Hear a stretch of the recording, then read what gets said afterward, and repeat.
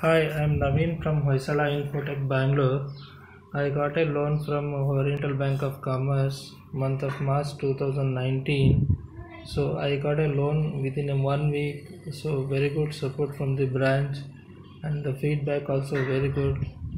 So I'm looking forward with a good support from the branch. So I wanted to enhance my a loan for the business purpose kindly support us. Thanks